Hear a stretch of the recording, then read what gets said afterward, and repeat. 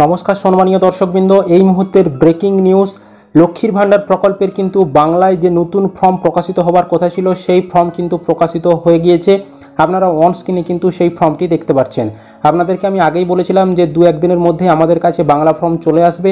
তো দেখতে পাচ্ছেন, চলে এসেছে আমাদের কাছে লক্ষ্মীর ভাণ্ডার প্রকল্পের বাংলা ফর্ম তো এই ফর্মটি কীভাবে সঠিকভাবে, সঠিক পদ্ধতিতে ফিল করবেন, কি কি প্রয়োজনীয় ডকুমেন্টস লাগবে, সমস্ত কিন্তু আমরা আজকের এই ভিডিওতে ডিটেলসে আলোচনা করে দেব।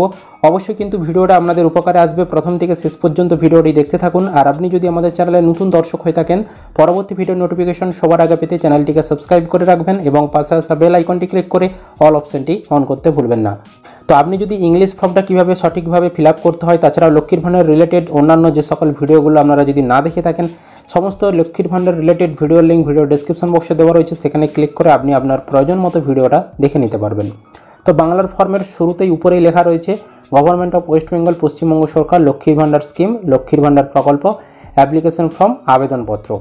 আর এখানে রয়েছে স্টার মার্ক ফিল্ড আর ম্যান্ডেটরি অর্থাৎ যেগুলো স্টার চিহ্ন দেওয়া রয়েছে, সেগুলো আপনাকে অবশ্যই ফিল করতে হবে এবং যেখানে ঠিক চিহ্ন দেওয়ার জায়গা রয়েছে, সেই বাক্সে আপনাকে ঠিক চিহ্ন দিতে হবে।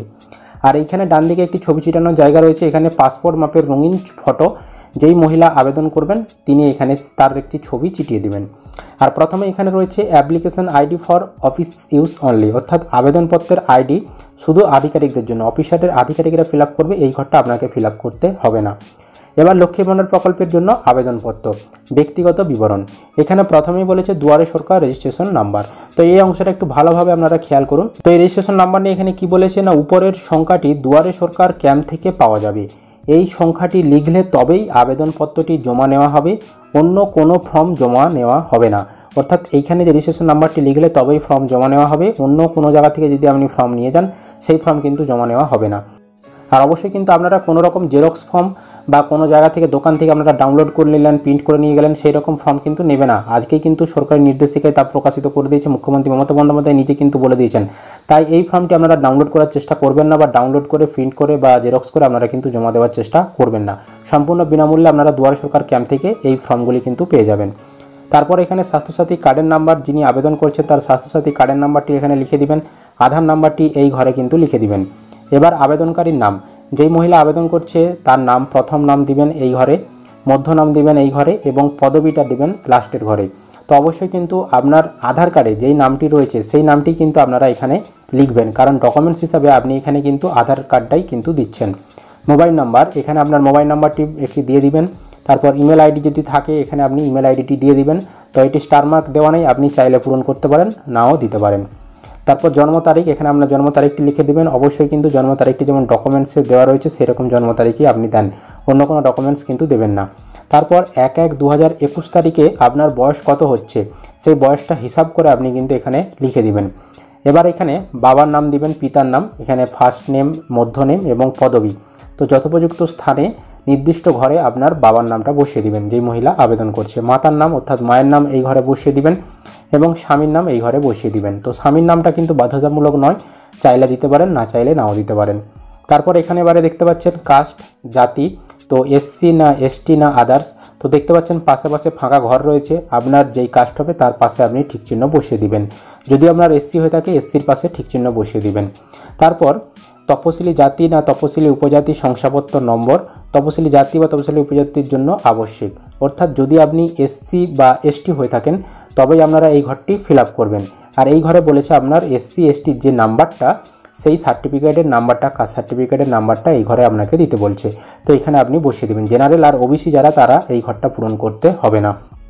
তারপর এখানে বলেছে যোগাযোগ, অর্থাৎ কন্ট্যাক্ট ডিটেলস তো রাজ্য এখানে ওয়েস্ট বেঙ্গল আগে থেকেই দেওয়া রয়েছে। তারপর এখানে জেলা তো আপনার জেলার নামটা এখানে আপনি বাংলাতে চাইলে বাংলাতেও বসে দিতে পারেন, ইংলিশে চাইলে ইংলিশেও কিন্তু বসে দিতে পারেন। সম্পূর্ণ ফর্মটা যেহেতু বাংলাতে রয়েছে, তো আপনারা যদি চান বাংলাতেও ফিল করতে পারেন, আর ইংলিশে চাইলে ইংলিশেও কিন্তু ফিল করতে পারেন। তারপর এখানে পুলিশ স্টেশন থানা, আপনার থানার নামটা এখানে লিখে দিবেন। তারপর ব্লক অথবা মিউনিসিপ্যালিটি কর্পোরেশন তো এখানে ব্লক অথবা মিউনিসিপ্যালিটি কর্পোরেশনের নাম আপনারা লিখে দিবেন। এবং গ্রাম পঞ্চায়েত অথবা ওয়ার্ড নাম্বার, আপনার ক্ষেত্রে যেটি হবে সেটি আপনি এখানে লিখে দিবেন। এবং গ্রাম অথবা শহরের নাম এখানে লিখে দিবেন। ঘর অথবা বাড়ির নাম্বার যদি জেনে থাকেন, এখানে লিখে দিবেন ডাকঘর এবং পিনকোডগুলি এই ঘরে ঘরে বসিয়ে দিবেন। তো স্টার মার্ক যেগুলি, সেগুলি দিবেন, বাকিগুলো না দিলেও কোনো অসুবিধা নেই। এবার ব্যাংক অ্যাকাউন্টের বিশদ বিবরণ। তো যেই মহিলা আবেদন করছে, তার নামে যেই ব্যাংক অ্যাকাউন্ট রয়েছে, সেই ব্যাংক অ্যাকাউন্টের ডিটেলস এখানে দিতে হবে। তো জয়েন্ট অ্যাকাউন্ট দিলে কিন্তু চলবে না, তাছাড়া আপনারা যে কোনো ধরনের ব্যাংক অ্যাকাউন্ট দিতে পারেন। তো এখানে ব্যাংকের নাম দিয়ে দিবেন। তো আপনার ব্যাংকের নামটা এখানে বসিয়ে দিবেন, তারপর ব্যাংকের শাখার নাম অর্থাৎ ব্রাঞ্চের নাম এই ঘরে বসিয়ে দিবেন। ব্যাংক অ্যাকাউন্টের নাম্বারটি এই ঘরে বসিয়ে দিবেন এবং আইএফসি কোড কত সেটি এখানে আপনি বসিয়ে দিবেন। এবার এখানে রয়েছে আপনি এই ফর্মের সঙ্গে কী কী ডকুমেন্টস দিচ্ছেন, তার পাশে আপনাকে ঠিক চিহ্ন দিতে হবে। তো এখানে যা যা ডকুমেন্টস আপনি দিচ্ছেন, সমস্ত ডকুমেন্টসে কিন্তু যার ডকুমেন্টস তাকে কিন্তু সিগনেচার করতে হবে, অর্থাৎ সই করতে হবে। তো প্রথমে এখানে পাসপোর্ট মাপের রঙিন ছবি আপনি উপরে দিচ্ছেন, তো এখানে আপনি ঠিক চিহ্ন বসিয়ে দিবেন।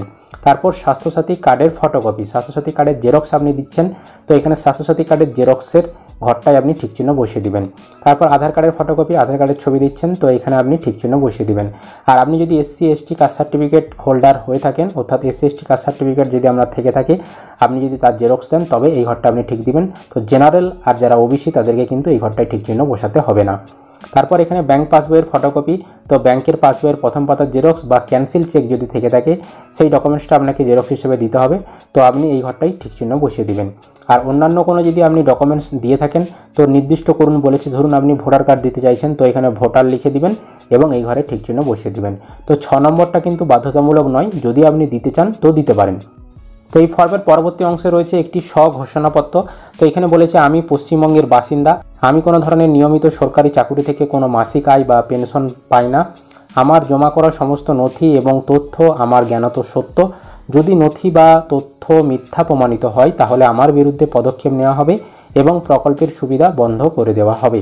এবার যেই মহিলা আবেদন করছে, তিনি এখানে একটি সিগনেচার করে দিবেন। আর তিনি যদি সিগনেচার করতে না পারেন, সেক্ষেত্রে কিন্তু এখানে টিপছাপ দিয়ে দিবেন।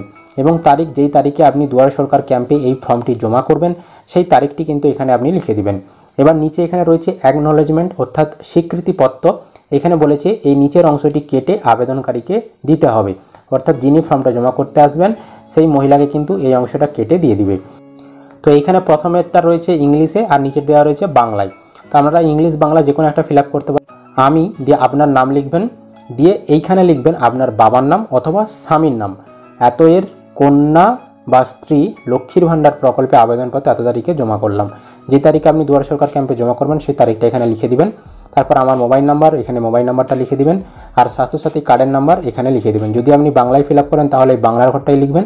আর যদি ইংলিশে ফিল করেন, তাহলে যে উপরে ইংলিশ লেখা রয়েছে মাই মোবাইল নাম্বার এই মাই মোবাইল নাম্বারের পাশে এখানে ইংলিশে আপনি লিখবেন। বাংলায় চাইলে বা নিচেরটাই আপনি বাংলায় লিখতে পারেন। তারপর আধার নাম্বার এখানে আধার কার্ডের নাম্বারটা আপনি লিখে দিবেন। এবার নিচে এখানে রয়েছে জমা নেওয়ার আধিকারিকের স্বাক্ষর ও সিল যিনি আপনার কাছ থেকে ফর্মটা জমা নেবেন, তিনি এখানে সিল সিগনেচার করে দিবেন এবং রিসিভ করে নেবেন। দিয়ে এই নিচের অংশটা কেটে কিন্তু আপনাকে দিয়ে দিবে। তো এই ফর্মটি আপনি দুয়ারে সরকার ক্যাম্পের নির্দিষ্ট কাউন্টার থেকে আপনারা নিয়ে নেবেন। নেবার পর আপনারা পূরণ করবেন এবং এই যে ডকুমেন্টসগুলি দেখতে পাচ্ছেন, এই ডকুমেন্টসগুলির সাথে কিন্তু আপনি সেই ফর্মটি ফিল করে, এই ডকুমেন্টসগুলি জেরক্স করে আপনি কিন্তু ওই ফর্মের সঙ্গে একসঙ্গে অ্যাটাচ করে আপনারা নির্দিষ্ট কাউন্টারে জমা করে দিবেন।